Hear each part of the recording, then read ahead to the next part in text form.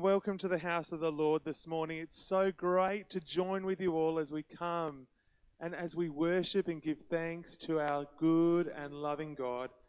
And welcome to those who are joining us on the live stream. Uh, we pray that you would all feel the moving of the Spirit this morning. And this morning we take this call from Psalm 100 Shout for joy to the Lord, all the earth. Worship the Lord with gladness. Come before him with joyful songs. Know that the Lord is God. It is he who made us, and we are his people, the sheep of his pasture. Enter his gates with thanksgiving and his courts with praise. Give thanks to him and praise his name, for the Lord is good and his love endures forever. His faithfulness continues through all generations. What a beautiful call for each of us this morning. I'm going to invite you to join. Please stand as we declare this morning that we will enter his gates with thanksgiving in our hearts and, our, and enter his courts with praise.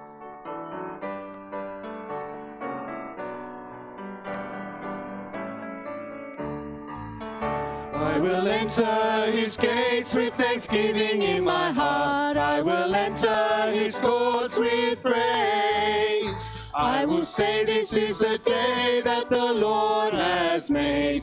I will rejoice for he has made me glad.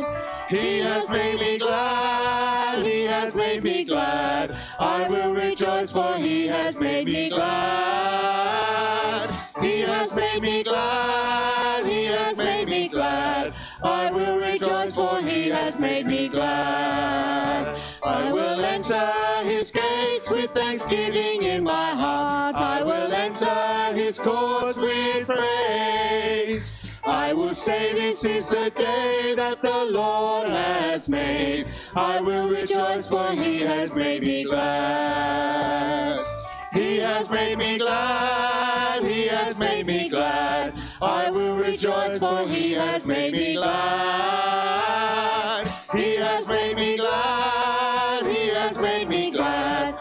Will rejoice, for he has made me glad. He has made me glad.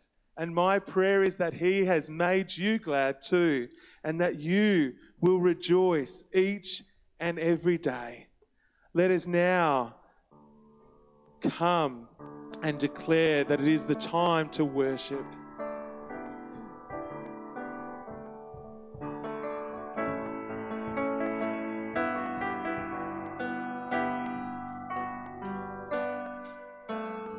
Come, now is the time to worship. Come, now is the time to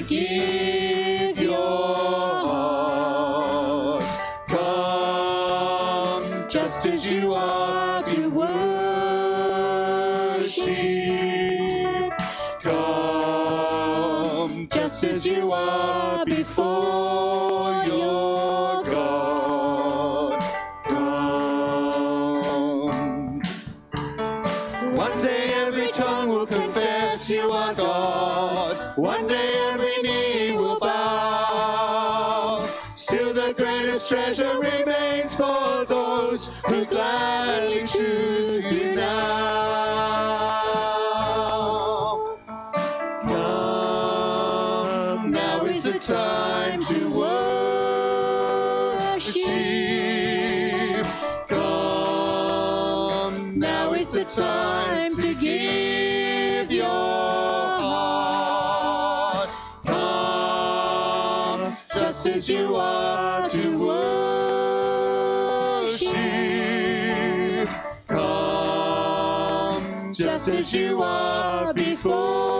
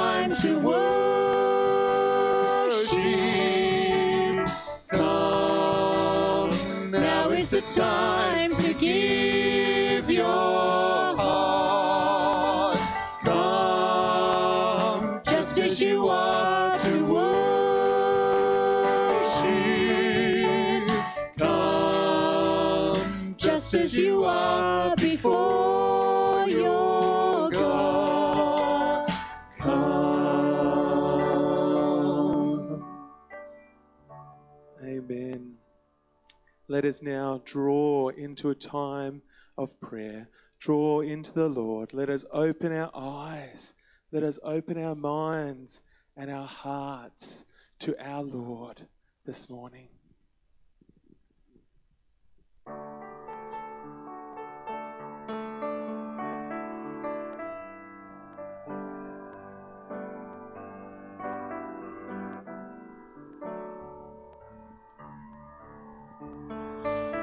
Open the eyes of my heart, Lord. Open the eyes of my heart. I want to see you. I want to see you.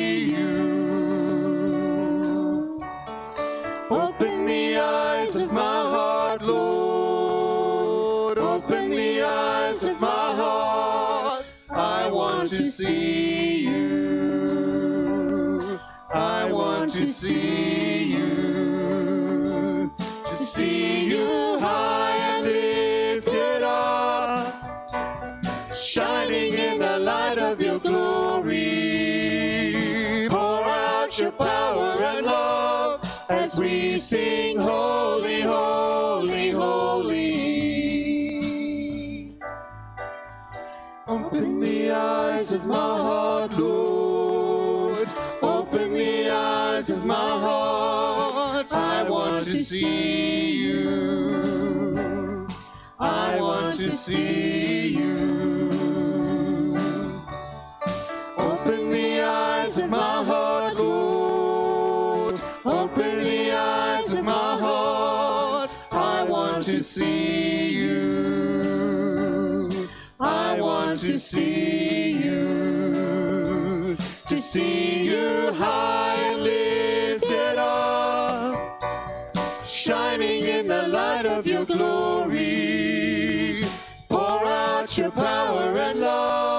as we sing, Holy, Holy, Holy.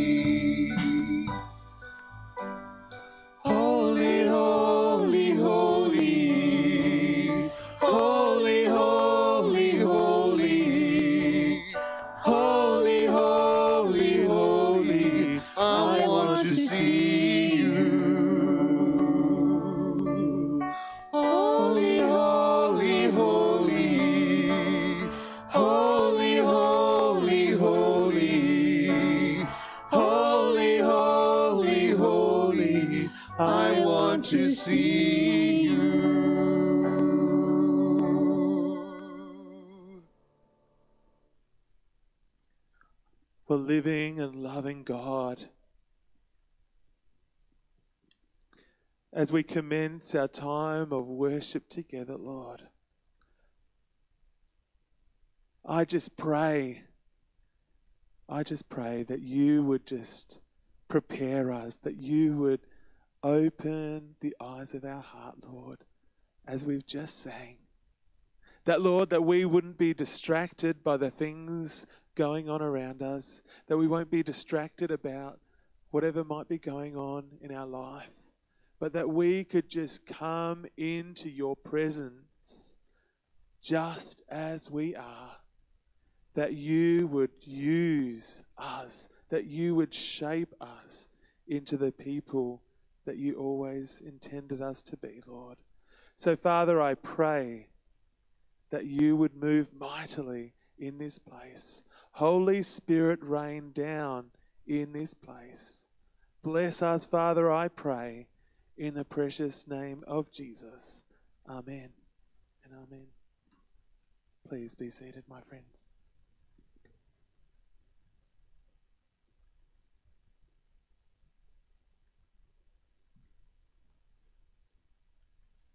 Well, good morning, everybody. It's great to see you here today. Uh, thank you for resisting the urge to instead go to the Wiggles concert.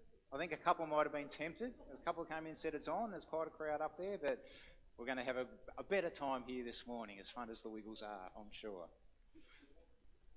Also, yeah, well, we can, you can do the fingers if you like, and yeah. Uh, some announcements I'm doing from memory. I couldn't be bothered writing them down, always dangerous, but anyway, I'm doing from memory. First one is to remind you that this week the Christian Life and Witness course starts. This is part of the Billy Graham Evangelistic uh, Association uh, events that are, will take place in May. Uh, so the course goes for three weeks, uh, three 90 minute sessions at various uh, church locations around the city and on various days of the week. So I'd really encourage you, if you do have that time available, just really encourage make that time available and go along to one of these Christian Life and Witness courses. I think I know about four people so far from the congregation that have committed to doing that. So there's one at the Door of Hope, there's one at Gateway Baptist, uh, St John's on Wednesday night. So there's uh, lots of different options there uh, that you can take a look at. So these cards are up the back. There's plenty of them there that have uh, the dates and times, or you can jump onto Facebook, uh, Launceston Churches Together, and find details there. No need to pre-register, uh, but you can, they said, if you like, jump on Facebook and say you're going on the particular event, just so they know how many copies of stuff to print off and things like that. But um, if you want to be able to pray with people uh, who might make a decision for Christ at the public events in May, uh, when Will Graham is here to preach, uh, you have to do this. Um, but of course, you can just do it for um, our own discipleship and our own training and evangelism as well. Two. Next Sunday, we're going to have a visit from Johanna from Compassion Australia, who'll be coming to talk uh, to us. She visited us last year about this time in February as well. So I encourage you to come along and uh, just hear uh, once again and, and, further of the work that the Compassion uh, do right around the world. And just to let you know that uh, from our uh, open plate offering on that day, the church here will, of course, make a donation through to the work of compassion. So just be aware of that if you'd like to help contribute in that way as well through that love offering. Three. Relay for Life. So that's on the third weekend of March. I think the uh, 17th, 18th, 19th of March. Uh, that's an event that raises uh, money for the Cancer Council, obviously, and all the work that they do there. So YFM have once again uh, entered a team and invited anyone from the Salvation Army to come along and participate in that as well. I think last year we had four or five uh, from the Salvos in, in um, conjunction with the YFM team. It was a great event there uh, just to share in that way. So if you want to sign up for that, uh, just see Kelly, myself or Dave uh, to get more details on there. I think we've got, Liddy's already signed up again. Is that right? Yep. So there's one already. So you, you, don't have to walk for hours and hours. You might just be able to, you know, might say, well, I need to walk an hour or two, you know, around the track with a break in between. So I uh, don't think you have to commit to, you know, hours and hours of walking if you want to get involved and just help support the Cancer Council there. And the last one is on in the foyer out there. You'll see, I think we've got three tables in the end of um, quite a number of books that are available for anyone that would like them. Uh, as part of their recent move, Kevin Jude just been doing a little bit of cleaning out and a little bit of a reluctant, I think, cleaning out in some instances. Uh, so uh, please take the opportunity to look through there, and uh, you'll, I think there's some gems there you'll be able to pick up if you're a reader and uh, yeah, sort of find something of interest there. So certainly take a perusal over those. We'll continue in worship. Thank you for the giving of our tithes and offerings. Thanks, Meredith.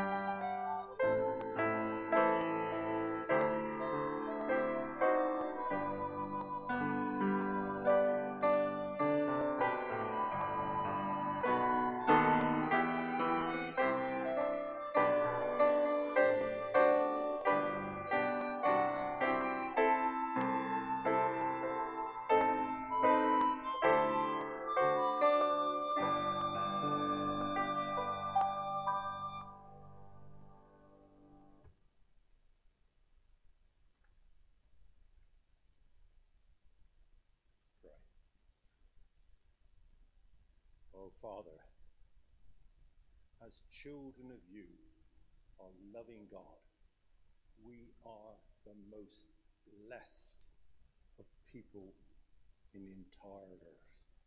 We thank you, Lord, that you just love us, love us. And, we, and you show that love often in such blessing towards us. And Lord, you bless us with the ability to be able to return to you that overflowing abundance of what you have given to us. So we thank you this morning for that opportunity to return some of your blessings back to you and your kingdom. May, may it be used wisely. We pray for those who distribute what we've given today and those who are blessed by what we have given today. We thank you, Lord. Amen.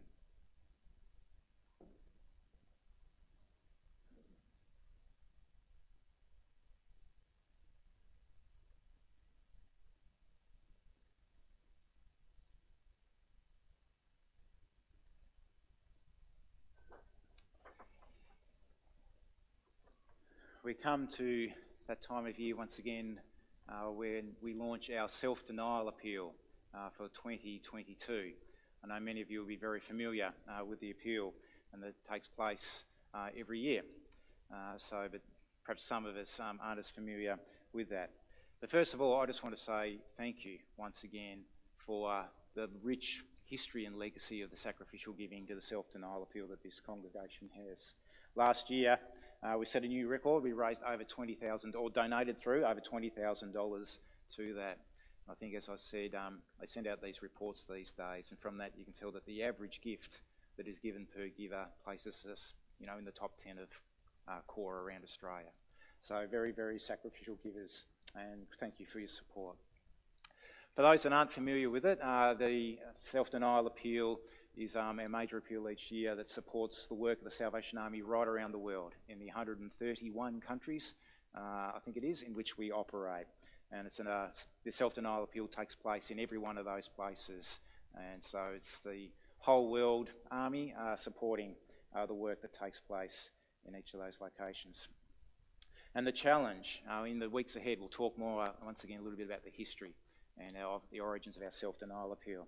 But the challenge that is there is to give one week's salary uh, to the appeal as a sacrifice and support of both the evangelical work of the Salvation Army and the development work uh, for projects and um, community development. So the altar service will take place on the 3rd of April. There'll be lots more info coming out in uh, following weeks, uh, further letters, uh, the giving envelopes, things like that. You, know, you would have received uh, the letter today from our territorial leaders Commissioners Robert and Janine Donaldson. I uh, saw a number of you already reading that through there. I just want to read a little excerpt from that. The Salvationist's heart cries to make a real and profound difference where we are and to see the cascading effect of our faithful efforts continuing to ripple through our faith community and around our world. Your support ensures the Salvation Army can continue its unique calling to be an influence for justice and hope in a chaotic world. As dedicated Salvationists, our inward desire energizes upward prayer, which empowers outward action that accelerates onward ripples. Once again this year, we are asking you to prayerfully consider your personal sacrificial gift to the self denial appeal. And as you'll see in the video in just a short moment, the theme of this year's appeal is the ripple effect how our small actions can create, I suppose, a ripple effect of um, change and blessing uh, that we can never imagine. So, there's uh, also a few devotion books out the back. We've only printed 10 in the interest of saving paper. So if you really do need a paper copy, grab one of those. If they run out, I might print some few more. But I'll email out the PDF. I'll do one of those uh, sort of global emails. So you'll get the PDF uh, later this week. Uh, officially starts next Sunday, so you won't be behind or anything if you wish to track through on that devotional book there. And the last thing I'm going to put out today is in terms of a faith target once again. I know perhaps um, we can't just keep uh, raising and raising the bar perhaps, but I'm hoping perhaps we can get a greater number of people involved this year and increase that target that way. And I think in 2022, let's aim for a target of $22,000. That's about 1,500 more than last year. So let's uh, commit that to prayer and faith and see if we can hit. Oh, I like this, you know, symmetry in numbers. So let's see if we can hit that 22,000 in 2022. Well, let's watch the first video through. Thanks, Edwina.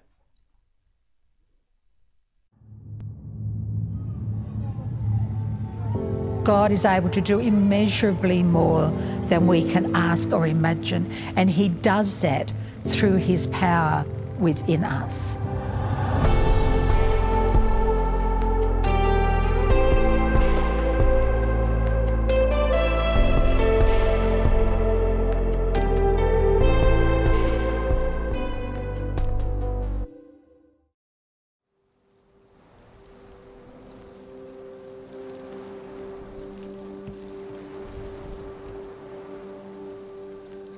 In the beginning, God created the heavens and the earth.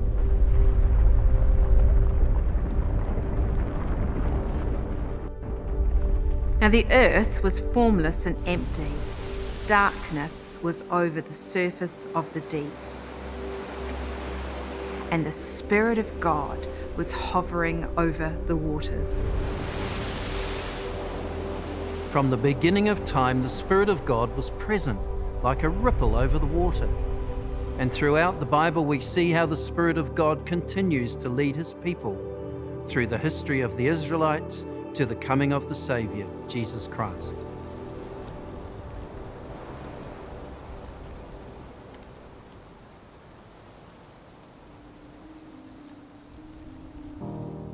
In Luke chapter 1, we recount the angel saying to Mary, The Holy Spirit will come upon you, and the power of the Most High will overshadow you. Therefore, the child to be born will be called Holy, the Son of God. Throughout Jesus' ministry, the Spirit of God was with him. The Gospel, according to Matthew, tells us in chapter 3 that as soon as Jesus was baptized, he went up out of the water. At that moment, heaven was opened, and he saw the Spirit of God descending like a dove and alighting on him. And a voice from heaven said, This is my Son, whom I love. With him I am well pleased. And towards the end of his time on earth, he promised his followers the Spirit will come to help them. In John chapter 14, we are reminded of Jesus' words to his followers If you love me, you will obey my commandments. I will ask the Father, and he will give you another helper who will be with you forever. That helper is the Spirit of truth. The world cannot accept him because it does not see or know him. You know him because he lives with you and will be in you. And the Spirit of God has continued to lead Christians, energizing them to do His work, to share the gospel and honor God. And the ripple effect continues today to the corners of the earth. Today, the Spirit is alive in us, leading us into mission, both at home and abroad, to bring the eternal hope we have in Jesus Christ, our Saviour, to all. We join Paul in his letter to the Ephesians in chapter 3, verse 20, saying, Now to him who is able to do immeasurably more than all we ask or imagine, according to his power that is at work within us through his Spirit, to him be glory in the church and in Christ Jesus throughout all generations.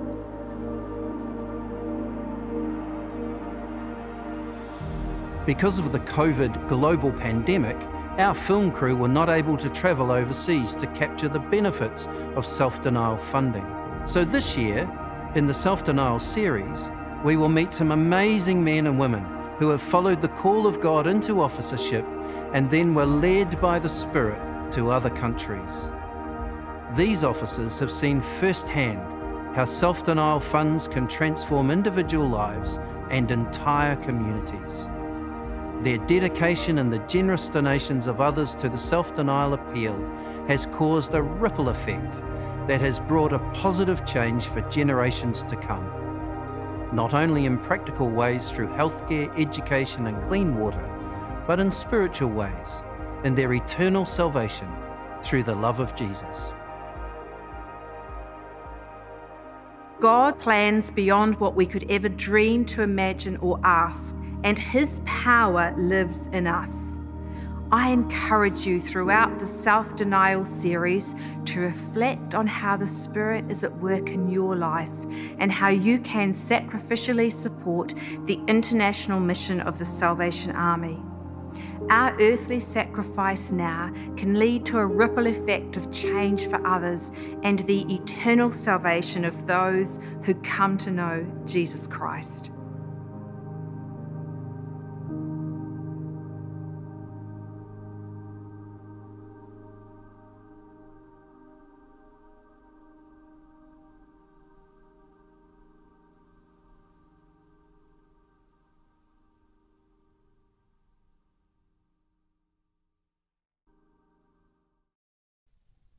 Look forward to hearing more of those stories in the coming weeks, I'm sure, as we prayerfully consider uh, our giving to the self denial here once again.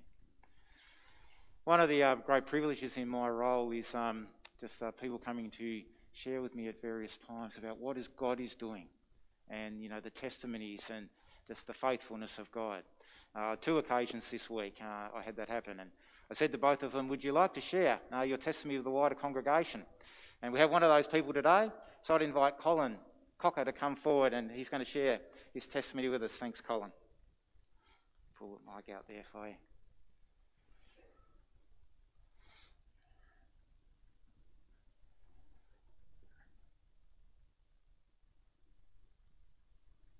I've got some notes because uh, my memory's not so good. I've got my wife's glasses because I can't see.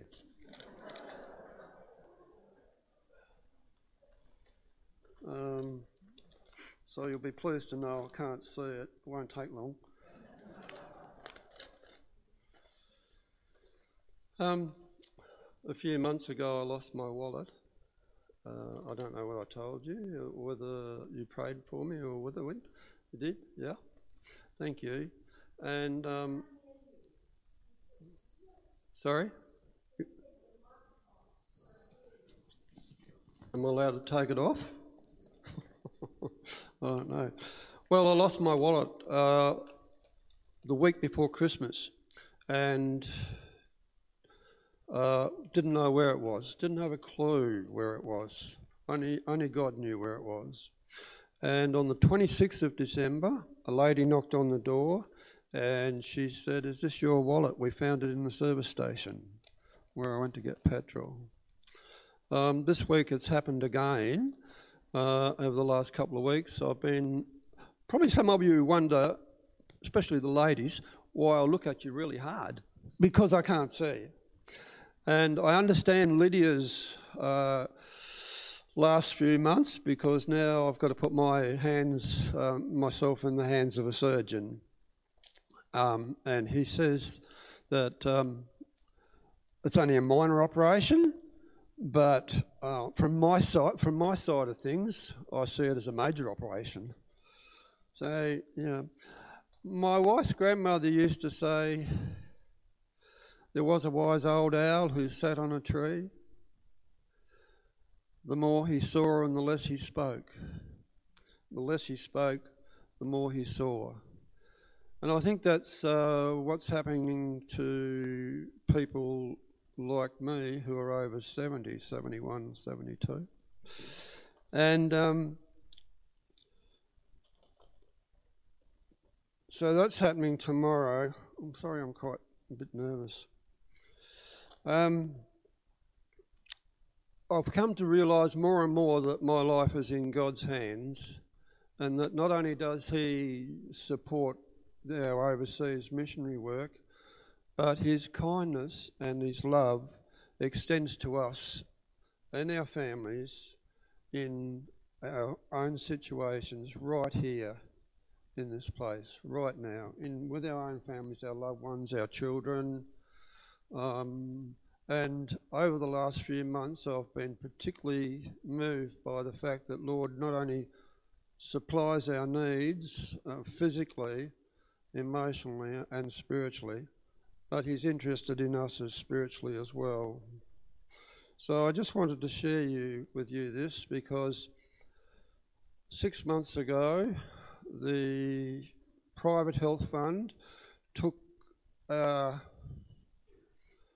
thing off their list, and we've been paying, paying private health for a long time without telling us.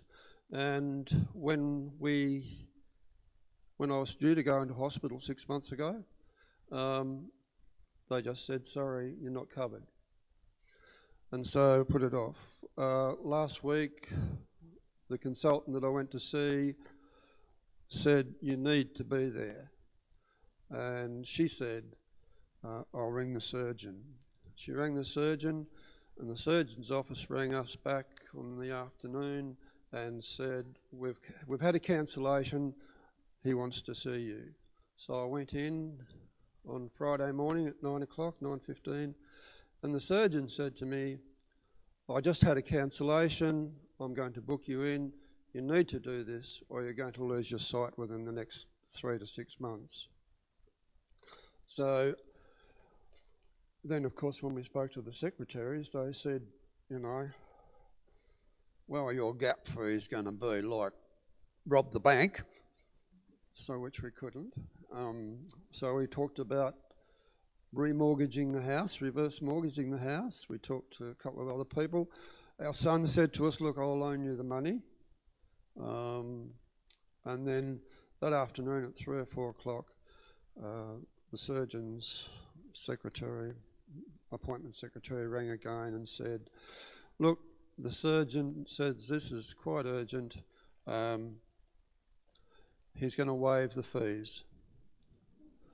And um, so I praise God. Yeah, thank you. So I just wanted to share that with you this morning. I wanted to share it because I want to honour God in my life. I want to praise the Lord and I want to thank Him for what He's doing for all of us in different ways. Sometimes He doesn't do the things that we want Him to do. Um, but I want to give thanks to the Lord God this morning because He does support us, He does look after us, He does have His hands underneath us and, and um, holds us. Amen.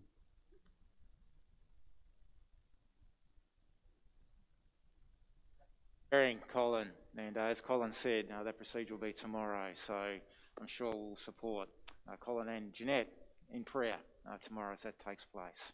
And uh, so I'll commit that to you. Sorry, I forgot to send the kids out earlier. They're supposed to be gone. If, if I ever forget, just get up and go out. That's all right. So, yeah, off to kids' church. Kids, sorry. Yep. And I think so. I think the songsters will come. Thank you.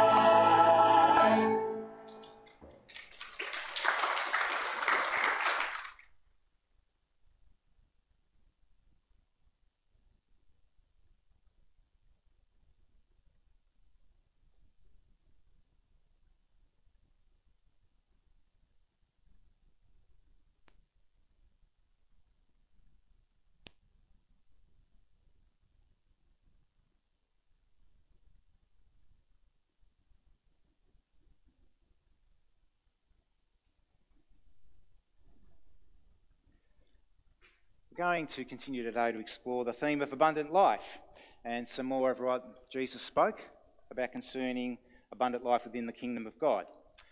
Uh, but to start with, we're also going to look at part of our local mission plan and provide an example of something there. So, two different purposes that I'm hoping when we get to the end of the, today, uh, they've all connected up. So, our local mission plan, it's focused on the goals uh, we're concentrating upon over the next 12 months for each of the four mission intention areas of the Salvation Army in Australia. I think we're doing pretty well with the vision these days. I think most of you could probably say that if I asked. Wherever there is hardship or injustice, Salvos will live, love, and fight alongside others to transform Australia with the love of Jesus. Yep, one life at a time, the love of Jesus. But how about our mission intentions? How are we going with those? Who can name one of them?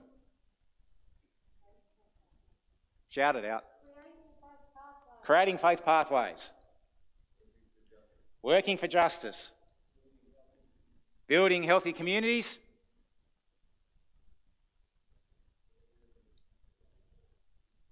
Caring for people. Caring for people.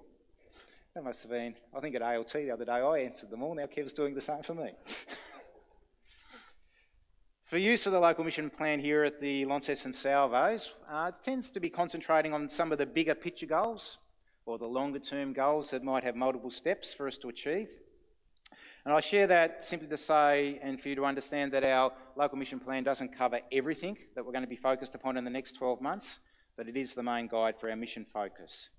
And it does form the foundation for the area leadership team meetings that are held each month, where representatives from all our mission expressions come together uh, to collaborate and build relationships. And uh, Kevin chairs those, so if you want to know anything more about them, speak to Kev. So the, LM, uh, the, local mission plan, LMP is the abbreviation, has become central to how we operate at the front line. I haven't gone into too much detail of the LMP in Sunday morning worship settings as yet, but moving forward I think we probably will by highlighting particular goals and looking at them more frequently. You know, this gathering is for us to worship, to proclaim the gospel of Jesus Christ, but it's also to encourage and motivate us for mission, for that sending out, how we can be involved in serving our communities. So today we're looking at one of the outcomes and SMART goals in the Creating Faith Pathways mission intention. Exhibit A. So we want to encourage participation, reaching 75% target of all active soldiers, adherents, junior soldiers and regularly collected members in some form of Bible study or just some discussion based upon the Word of God. There's some examples there, life group, discovery Bible method, discipleship huddles, just getting together one-to-one over Scripture. I do haven't calculated in detail as yet, but I think we're probably running at about 30 to 40% at the present point in time. So that's the sort of the stretch there. And the goal is to teach, promote, and communicate new ways for being involved in reconnection with others for study and discussion of Scripture, hence me being here today. And to perform follow up to identify how people are then connecting and engaging in this way by October 2022. You've got to put a time on it, as if I didn't have enough today. But anyway, that's all right. This is important. Discipleship is vital. Now, I know some of you already regularly participate in a life group. Excellent. We're already counting you in the 75%, but there might be other ways you wish to be involved also. But for those that are not, this is about acknowledging also that perhaps a life group isn't the most conducive setting for you to just sit down and read someone, read with the scripture with someone. So we're going to explore that by demonstrating another way this morning. One of the examples listed above the Discovery Bible Study Method. Now, it has a simple ABC approach to give it some structure. And I've asked a couple of willing victims to come and help me with this. So I'm going to get some stools, and Maria and Nigel are going to come and join me. We'll grab some stools later, make it a bit more relaxed.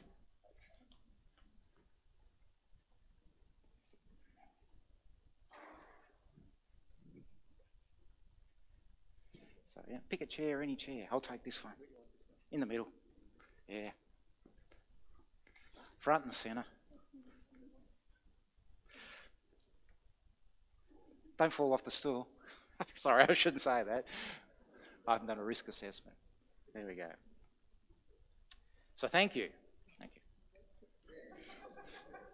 Now, the Discovery Bible Study Method, it provides a, a simple yet a structured way of opening the Bible with someone so they encounter God directly through His Word. and particularly in this case, be they a follower of Jesus Christ already yet or not. Uh, the aim is to help people discover God's truth for themselves, and it's something that can particularly work well in smaller groups, uh, anywhere between two and four people. So, the ABC of the Discovery Bible Method. The first step is ask. You know, ask each person how they went with the previous week's commitment. Like, how did you go with? Who did you tell? Now, by the end of the demonstration, you'll see how this cycle completes and how it comes back to the ask. But as is this our first meeting of this little group today and a demonstration, we're going to skip straight to the B, the Bible. Uh, but there might be some welcome conversation and all of that, as you know, you would just when you catch up with anyone. So the B, the Bible. Choose a short passage from the Bible. We've chosen today Luke 10, 30 to 37, the Good Samaritan, and also the passage we'll share on later about abundant life. So have someone read it aloud. Maria, would you like to read that for us from the NIV to start with? I will do that. so, in reply, Jesus said, A man was going down from Jerusalem to Jericho when he fell into the hands of robbers. They stripped him of his clothes, beat him, and went away, leaving him half dead. A priest happened to be going down the same road. When he saw the man, oh, excuse me, I'm on this stool. Sorry. I'm going to fall off or something. You can stand up if it's better. You don't have to stand at the stool. Yep, that's fine. Need to be comfortable at the group. Yeah. That's better.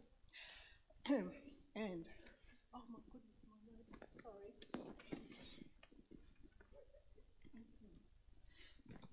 A priest happened to be going down the same road, and when he saw the man, he passed by on the other side. So too a Levite. When he came to the place and saw him, passed by on the other side. But a Samaritan, as he travelled, came where the man was. And when he saw him, he took pity on him. He went to him and bandaged his wounds, pouring on oil and wine. Then he put the man on his own donkey, took him to an inn, and took care of him. The next day, he took out two silver coins and gave them to the innkeeper. Look after him, he said, and when I return, I will reimburse you for any extra expense you may have. Which of these three do you think was a neighbour to the man who fell into the hands of robbers? Hmm. The expert in the law replied, The one who had mercy on him. Jesus told him, Go and do likewise. Perhaps then uh, you might reread the passage again, maybe from a different translation. Uh, so I'm going to have Nigel now read that same passage from the message translation. Jesus answered by telling a story. There was once a man travelling from Jerusalem to Jericho. On the way, he was attacked by robbers. They took his clothes, they beat him up, and went off, leaving him half dead. Luckily, a priest was on his way down the same road, but when he saw him, he angled across to the other side. Then a Levite religious man showed up. He also avoided the injured man. A Samaritan travelling the road came on him. When he saw the man's condition, his heart went out to him. He gave him first aid, disinfecting and bandaging his wounds. Then he lifted him onto his donkey, led him to an inn, and made him comfortable. In the morning, he took out two silver coins and gave them to the innkeeper, saying, Take good care of him. If it costs any more, put it on my bill. I'll pay you on my way back. What do you think? Which of the three became a neighbor to the man attacked by robbers? The one who treated him kindly, the religious scholar responded. Jesus said, Go and do the same. So after you've read the passage through there, uh, the idea is then to ask the participants to share that story in their own words. Now, the idea is being, you know, we're not trying to get people to memorise long passages of scripture verbatim, but really just to infuse what the story is and take that into their thinking and into their memory. So, Maria, would you like to tell that story in your own words? Go for it. The floor is yours. Okay. Um, There's always context in Scripture, isn't there? Someone once said context is king. Jesus is king. Um, the context here is that an expert in the law, so he knew the law, came up to Jesus and asked him, Teacher, tell me, what does one do to gain eternal life? Jesus answers his question with a question How do you read the law? What is it saying to you? Love the Lord with all your heart, soul, mind, and strength, and whole, and love your neighbour as yourself. You have said well, said Jesus. Now, go and do this, and you will live.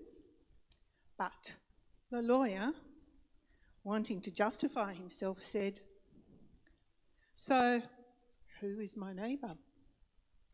And at this point, Jesus tells this parable. Rather than answer a question, he gives it in a story, a great storyteller, Jesus. So here goes the parable. There was a man. Don't know anything about him. He was on his own. We know that much. He was travelling from Jerusalem to Jericho. As he was going along this road, he was attacked by a bunch of bandits come out of the hills, jumped on him, stripped him of his clothes and all his belongings, beat him, and left him for dead, disappeared into the hills from where they came. There he was left, lead, lying on the road, half dead, under the hot desert sun. Well, pretty soon along comes a priest, all dignity and flowing robes. And he's walking along and he comes across this man lying on the road. What is he to do? What might he be thinking? Well, if I stop and help him, I might get mugged myself. Never know, dangerous road. Or is it possible he was thinking, well, he's a priest, leader of the Jerusalem, the church in Jerusalem, pretty high up and important, anointed, set apart for God to do his holy work. All this is riding on him at this moment. Is that what he's thinking? Well, I'm important now. This man could be dead. If I touch him, I'm immediately impure. I've made myself unclean. I have to go through all the purification process. Holy moly. Um, so decides not worth the risk, crosses the road, and keeps on walking to Jericho. Then along comes a Levite. Same thing, he too is set apart for the work of the Lord, taking care of all the things in the synagogue, in the temple works, assistant to the priest. There's the same thing going through his mind. Oh, is he dead? I'll have a look. Doesn't look too good. If I touch him, I will become unclean. And I have to go through the whole process. Oh, I don't know. I might get attacked. Anyway, who knows? Someone else will come along, cross this road, and off he goes to Jericho, leaving that poor man lying under the burning sun, half dead. Next thing you know, a Samaritan comes along a Samaritan. Genius. Jesus is a genius. Now, he knew, and they knew. Imagine the crowd listening to Jesus. A Samaritan? That lot? Bunch of no hopers. They hated one another. The Jews and the Samaritans were always enemies. As far as the Jews were concerned, the only true worship was in Jerusalem. And that lot there they worship who knows where up on some weird mountain. Anyway, they're useless. They hated each other. So the Samaritan, though, here he comes. He sees that man. He stops. And his heart has been moved with compassion. He gets off his donkey. He kneels down by the man. and he cleanses his wounds and tends them. He pours oil, precious oil and wine on them, binds him up, picks him up, gently puts him on his donkey, heads for the nearest inn. There he stays the night, keeping a watch on this man, making sure he's all right. The very next day, he speaks to the innkeeper. He says, Here you are, and pays him two denarii, which is two days' wages. And he says, Take care of him. I'll be back. And when I return, if I owe you anything else, I will reimburse you. So off he went. So Jesus now pauses and he says, Which of the three, as he speaks to the, the expert in the law, so which of the three, the priest, the Levite, or the Samaritan? Which of the three had mercy and compassion on the man? And expert in the law, it's like, uh, the Samaritan, I suppose. Jesus said, Well said. Now off you go and do likewise.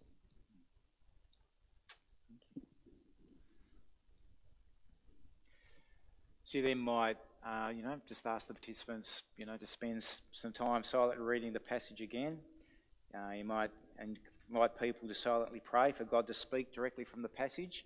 If you're doing that with someone who is yet to come to faith, you perhaps judge on, you know, whether they're comfortable yet, you know, praying like that. Um, so there's flexibility in this approach to don't have to religiously follow every step through, but can be tailored to sort of suit uh, the dynamic of the group that you're in. But then it's just asking some open-ended questions such as, what do you see? What does this say about God? What does this say about us? Or what is God saying to you? So Nigel. Yes. I'm going to ask you, what do you see? In that passage, I see that the, the priest, the Levite, they were in their own pious way self righteous in what they believed in the way they worshipped God. They were people who believed that now that they're in the positions they were in and they were leaders of their community in worship, that they were somehow greater and bigger than anyone else. But I question the situation where I say to myself, well, have they really been touched by the Holy Spirit? Have they been touched to actually give themselves and think of others and to truly walk as Jesus walked? When the Samaritan came along, of course, he was touched by the Holy Spirit. He had compassion, he had caring, he wasn't judgmental of the person that he'd come across. He was there to look after his fellow man. He was there to um, care for somebody in need. And to do that, he was led by his own personal beliefs and his journey with the Lord. And he was touched by the Holy Spirit to be able to then um, give of what he could give to assist this man in need. So I see that's with us, is to be able to always remember that there is somebody out there who needs us. There's somebody out there who needs us to be to touch them, and somebody out there that needs us to to lead by example. Where in the parable, the two priors didn't lead by example. They didn't lead by what they they they're in the position of preaching. Where the Samaritan led by example, he lives the walk of Jesus. He gave what he could to be able to ensure that this poor man was looked after and that he was he was saved. And in that doing, also, if we walk the same path, I believe we are saved as well. Maria, I'm going to ask you, what does this say about God? Um, well, what particularly stood out for me was that um, it's no use you can know the Bible back to front, inside out, read it through every year from cover to cover and know it. The priest, the Levite, expert in the law, they would have known their scriptures. But what God was showing me about this was that you have it all up there. If you don't show it and work it out and live it out in some way, demonstrate it, that's all useless to you. So, in other words, you know, connect up with what you understand Jesus is saying and do it. And um, love doesn't choose favourites, love doesn't choose who to love. Um, it, God, because God doesn't. He loves equally all, and no nation, nationality, tribe, tongue, any, it, no one's better than the other in God's eyes. Uh, so, yeah. Very good. And then Nigel. Hi. What, what does this say about us? It says that every one of us is always going to be challenged. Every one of us is going to be uh, put um, some form of test in front of us all through our lives, and especially to our faith. It's going to test us and test test our our resolve to walking um, with Jesus.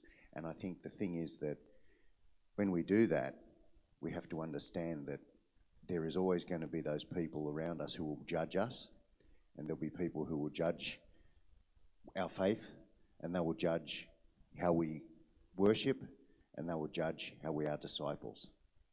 And I think that with the power of the Holy Spirit, this is where we are above the others. No matter what role we do, and no matter where we are in life and what path we take, we can always influence and we can always disciple to others and show our faith with an open heart and an open hand, which then in turn gets rid of those challenges put before us. So that's how I reckon. Very good. So obviously, you know, this setting here, it's um, a little bit presentation style. A natural group would be, you know, much more informal and relaxed. Everyone would get the opportunity to sort of answer the questions rather than just, you know, one question thrown to each person. It's just to illustrate, you know, those open-ended questions and inviting that discussion. So let the participants do most of the talking, which we did. Don't be afraid of silences. And then the C is commit. Uh, so we want to take some action from this. Let participants suggest their own commitment to whatever God is saying to them. Ask them, what are you going to do? Who are you going to tell? So, Maria, what are you going to do? Uh, two words spring to mind comfort zone. And I'm always, yeah, I feel that this life journey is that I'm being stretched like a rubber band out of my com- comfort zone. So it's it's always a challenge, as Nigel was saying. But the thing about living in Christ, Holy Spirit within us, if we trust Him, whenever whenever a situation comes up, He will help enable you to respond in the right way. It, but it's always down to me to respond. Mm. So, Yeah. yeah, we've got a long way to go on that one. but sometimes it's just perfect, and it, you go away and think, "Oh God, this is wonderful. I love you so much. This is great." And then other times it's like, "Oh, I don't want to do that. I really don't want to do that." But He doesn't leave you alone, does He? He No. niggles you, doesn't He? Yep, absolutely. so yeah, basically. and Nigel, who are you going to tell? Everyone. um, I think the word tell, it's not just verbal, it's not just telling everyone, it's about walking the walk and talking the talk. It's about showing and leading by example so that others are influenced in you, so by you, and they want to ask the question what is it about you that's different? What is it about you that makes you who you are? And that's when you can tell who you are, what you believe, how it's changed you, how it leads your life. And that is your faith, and that is your commitment to the Holy Spirit and to Jesus, and how it affects you. And leading by example is, I think, the tell. It's, it's about, because, you know, for some people it's hard for people to go up to somebody and say, Hi, I believe in Jesus. okay, because that makes them sometimes they feel intimidated or whatever. But I think if you feel, if you can live your life as an example and people see a change in you, especially if you're new um, to your faith, and people notice that change who are not who are not from the faithful, then I think that is a wonderful tell, especially if they're interested and of course they want to um, understand what is it that, that gives you that light, what is it that gives you the joy that you're having in your life now. And then you can tell them what it is. You can tell them that it's Jesus. You can tell them it's the Holy Spirit. You can tell them that it's that you, you, you, you, your life glows because of that journey that you're taking. Um, yeah. No, very good. So will you thank Maria and Nigel? You can escape now. Oh, good. yep. So I think you'd agree that's a pretty straightforward approach and something that most of us uh, would feel fairly comfortable just facilitating through or meeting with someone to go through. There is a sheet, uh, uh, we'll put it up, it's just down here at the front, I'll put it up the back. Grab that steps through that ABC, has all the questions on it. On the back page, it has a whole list of suggested scriptures, uh, enough to take you through the first year. Uh, probably is 30 or 40 scriptures on there if you're going to do that. Look, maybe it might be too simplistic an approach for someone who's been under the discipleship pathway for a while. It's just illustrating one different approach to our life groups that you might think, well, I could do that with someone. You know, I could sit down with my neighbour over a cuppa and, and fit that into my week. You know, it might take half an hour if you're doing it one on one with a person. You might be able to put squeeze that into your lunch break. You know, have a couple with someone and, and just read a little bit of a passage of scripture. Because it's difficult in the busyness of our lives to perhaps sometimes fit these things in. But I think, yeah, this is just a, a natural little thing that could be weaved into our everyday life. And the point of sharing this is, you know, we've got to start thinking more flexibly over the locations, the places, the times, and the ways with which we engage in people over Scripture than perhaps we have done so in the past. You know, it's not necessarily coming to here to do a Bible study or going to someone's home to do a Bible study. Got half an hour, let's, you know, just smash it out in the coffee shop. Do you want to read some Scripture together? Let's, you know, just be more, I suppose, a bit more dynamic and uh, flexible about how we approach it. You know, the coordination of how we approach discipleship, it has been a weakness, if I put it that way, of this faith congregation in recent times. I acknowledge that. Uh, responsibility for creating a richer environment where discipleship can occur does rest in part with leadership. But discipleship is also not something that can be solely driven by me or the senior leadership team. Know, I can talk about discipleship as much as I like. I can encourage you to commit to a life of discipleship and help resource that. But At the end of the day, I can't make that decision for you. I can't make that commitment for you. You have to decide that. So I'm always thankful and appreciative of the service that is given by this faith community. Our service is central to our DNA Salvationists and our fulfilment of the commitments we have made to God in our Soldiers Covenant. But don't let that think that that then precludes our discipleship. Discipling is a responsibility of every follower of Christ.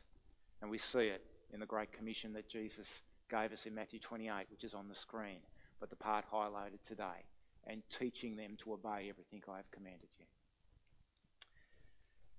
I have about five to ten more minutes of stuff I want to share, but we're just going to sing a song before we do that. Thanks, Dave.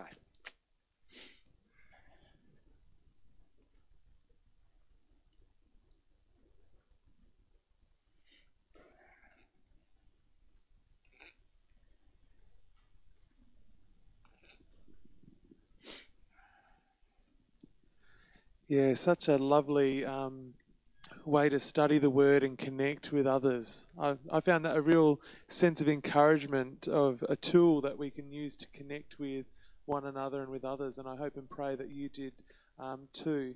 And I, I wondered as, as I was sat there listening, now what? So what will we do now? So so what? What is our commitment individually? Something for you maybe to reflect on as well. I'm going to invite you to stand as we just sing how um, of God's wonderful love for each of us. And let us consider that this morning.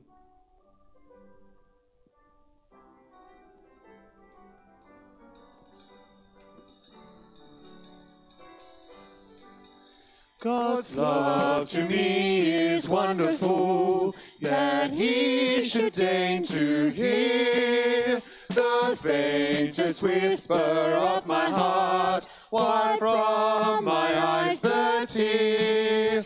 And though I cannot comprehend such love so great, so deep, in His strong hands my soul I trust.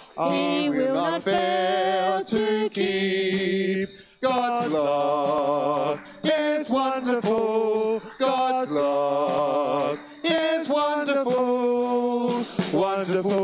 He should give his son to die for me. God's love is wonderful. God's love to me is wonderful. My very steps are planned. When mists of doubt encompass me, I hold my Father's hand. His love has banished every fear.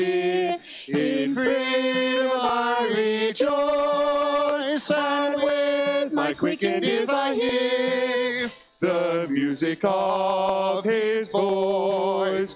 God's love is wonderful. God's love is wonderful. Wonderful that He should give His Son to die for me. God's love is wonderful. God's love to me is wonderful. He lights the darkest way. I now enjoy His fellowship. Twill last to endless day. My Father doth not ask that I great gifts on Him bestow, but only that I love Him too and serve Him here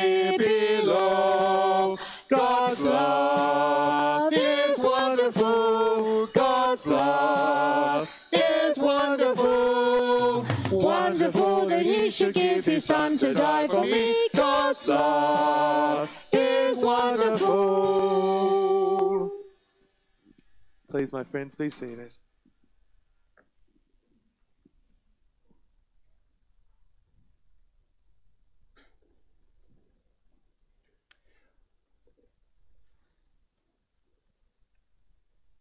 I just want to share briefly on that parable uh, that we've been considering today, this exchange between the religious expert and Jesus.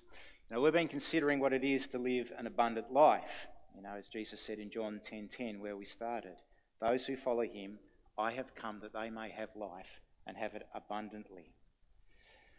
In verse 28 of Luke 10, you'll see the verses that precede the parable there, and when Maria retold the story, she went through those verses there. So I won't read those now because we've already had that. They're just up on the up on the screen there. But verse 28, and Maria mentioned this. In the exchange Jesus had with the religious lawyer and teacher, we see him say this Do this, and you will live. It's in response to the expert saying, Love the Lord your God with all of your heart, and with all your soul, and all your mind and strength, and love your neighbour as yourself. Now, in the Gospels, there are three terms in Greek for life. The first is bios, that's the natural or material existence we experience between birth and death. We're all familiar with that one. You can hear me speaking, you can feel the chair underneath you, you can go home and pat your dog.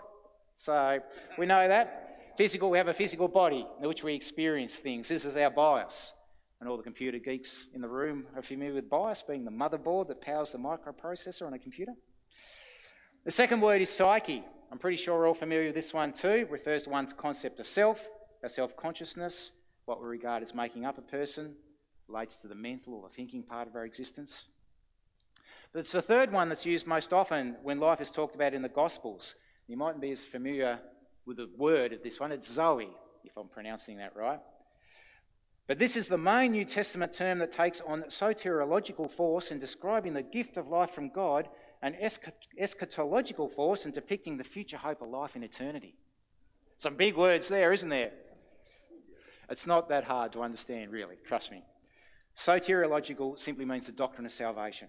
We're simply talking about salvation. The word is describing the gift of life, of eternal life, that is found in the salvation offered by God. And eschatological simply refers to end times, the end of things. So it is referring to that hope we have of eternal life spent in the very presence of God when the things of this physical age have come to an end. God intimately shares his gift of life with people. We're created in his image, and he gives everyone the capacity to know his eternal life. So it's this term, Zoe, that appears here in verse 28 when Jesus says, Do this and you will live. This is the life he's talking about. Do this and you will live. And as is often the case when Jesus was speaking to the religious experts, there's a little bit more going on. This person was an expert in the law. So he would have picked up on the fact that Jesus was actually quoting from Leviticus 18:5 here. It's a little bit of a paraphrase how it appears in Luke, but he would have been aware of that. So he turns it straight back on the expert. You know, what is written in the law? How do you interpret it? That's when the religious expert answers with the crux of the God's moral law upon which everything depends.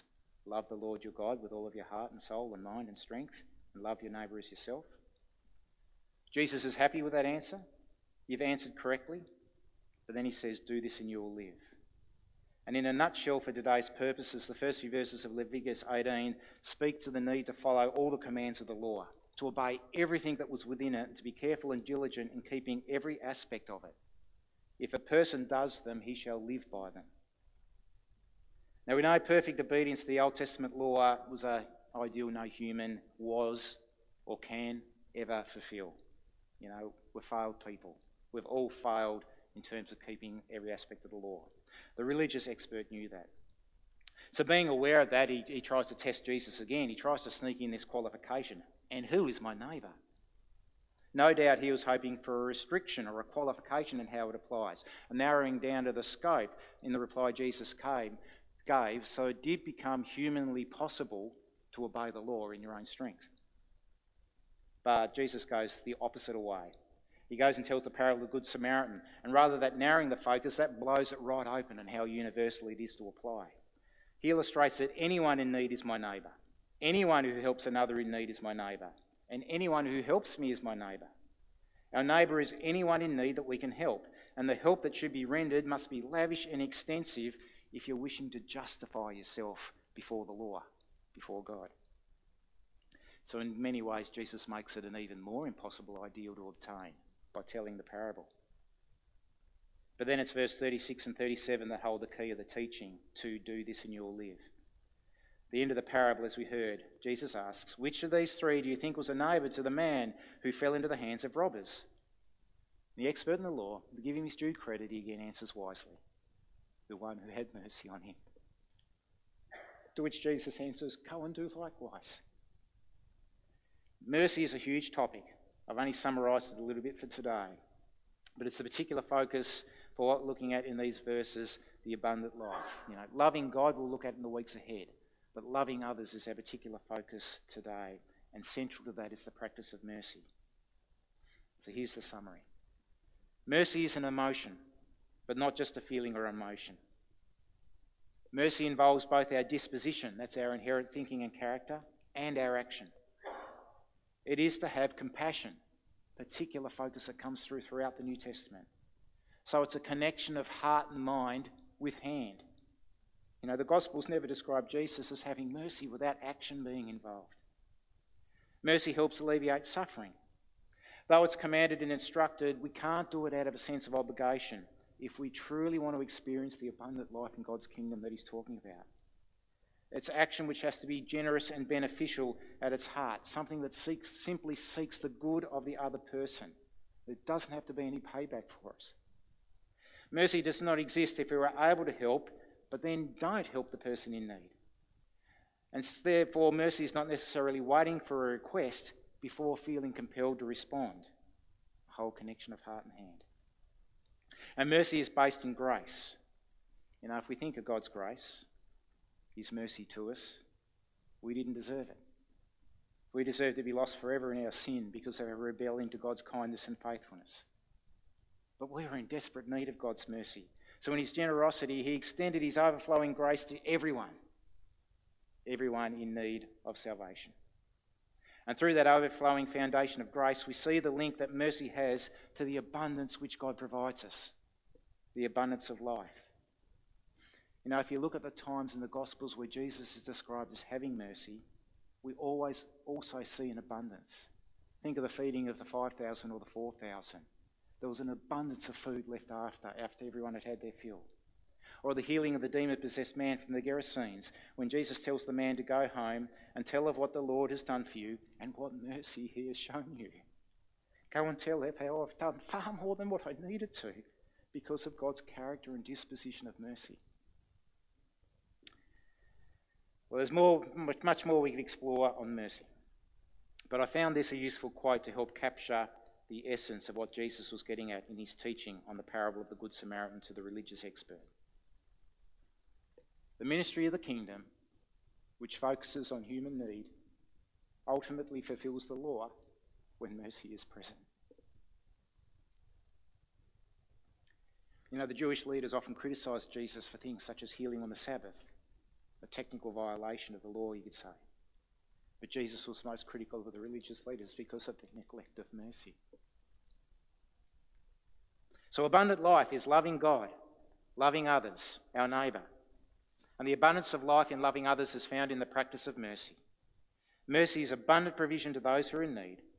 Mercy is required of those who would be Jesus' disciples and is both an emotion and righteous action simultaneously. No wonder Jesus said, Do this and you will live. Do this and you will Zoe. Experience the abundant eternal life of salvation and the future hope of eternity in His presence through living the practice of the mercy of God.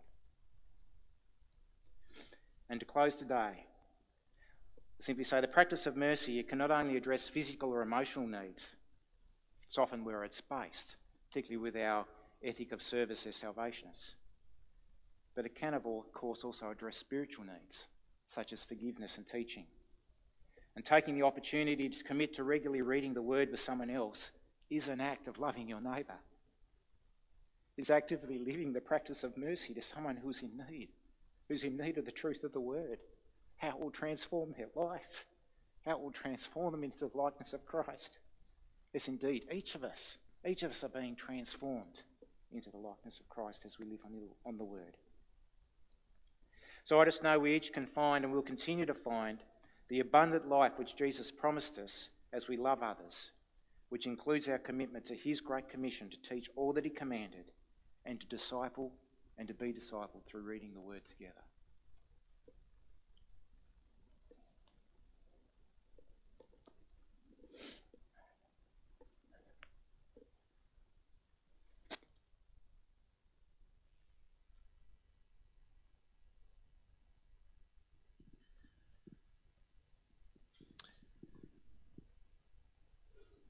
Let us now spend some time in prayer and in connection with God in considering the word that has been shared today.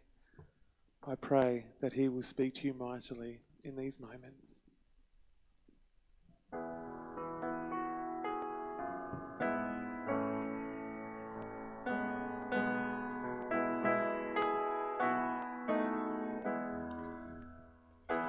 How deep the Father's love for us, how vast beyond all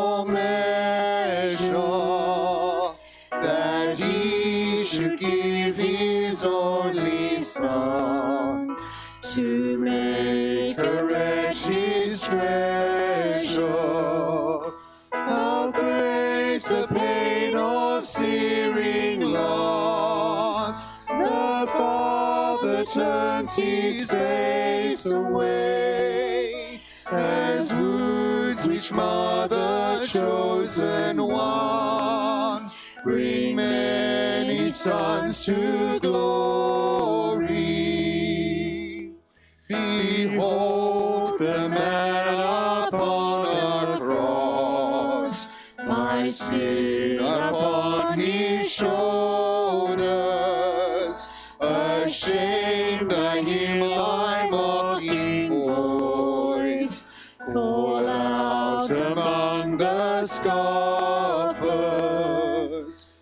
It was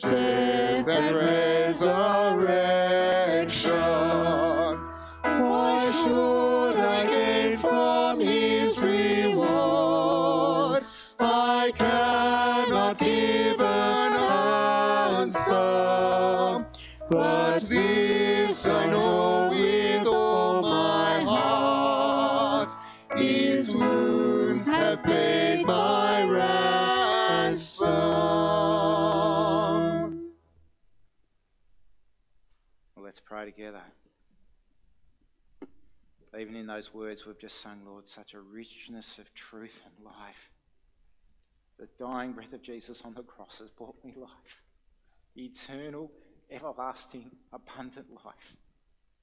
Oh Lord, we thank you for the mercy that you have showered down to us through the gift of your Son and the sacrifice that he made. We thank you that Jesus is indeed the living Word of God. So, Lord, we just ask that today we may have been encouraged, we may have been strengthened, we may have been prompted to think about things a little bit differently for just how we can share that life giving word with others. Lord, help us to understand the importance of just spending that little bit of time each week reading the word with someone. I know we read it ourselves, but reading the word with someone else. Help us to be a people who fulfill your great commission of discipling others, as indeed we will be discipled as we do that. It's what will set things on fire for the kingdom of God in this city, I believe. As we disciple, the power of your Spirit will be released through service, will be released through compassion, will be released through the work of our hands. All as we respond to you. We've heard that today. The key is we must respond to you. So may we consider these things in the days ahead. May we share your word at every opportunity we can. We pray in the great name of your Son, Jesus. Amen. I'm going to invite you to stand, my friends, as we declare the joy, the love of God as we go out this week and we love God, love others in all that we do, in all that we say. So please join as we sing Joyful, Joyful.